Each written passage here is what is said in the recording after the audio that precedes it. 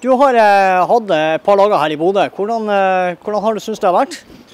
Du, Foreløpig så har det vært, eh, som alltid når jeg er på besøk i Bodø, veldig trivelig. Eh, vi har en, ikke fått sett så mye av byen ennå, men vi har vært sammen med utrolig mye trivelige mennesker. Og eh, møtt på eh, nye bekjentskaper. og Begynner jo å lære byen å kjenne litt etter hvert, så jeg har stortrives i Bodø. Og inntrykket har vært godt?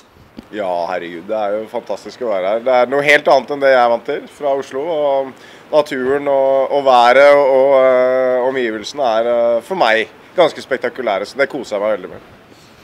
Du har hatt en, eh, en hard sesong nå. Hvordan er det å koble av med, med, med noe som dette?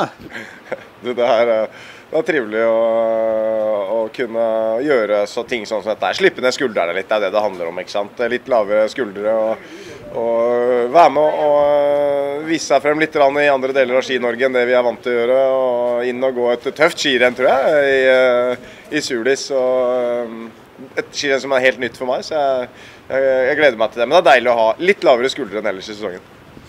Om under et døgn så står du altså på ski i eh, kobberløpet. Hvordan tror du det kommer til å bli? Nei, Ryktene sier at vi møter en tøff, en tøff løype. og Jeg tror det ikke blir det letteste vær i morgen heller. Så, men jeg ga utfordringer. og Jeg tror med startfeltet vi har her i morgen, så, så blir det en, en real uh, utfordring og en bra tur, tror jeg. Er det noen sjanser for at det er noen tøffe saltværinger som kan slå deg?